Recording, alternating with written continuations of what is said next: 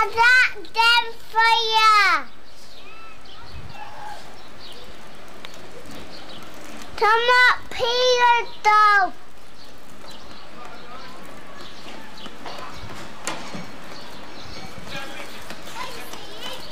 Even them.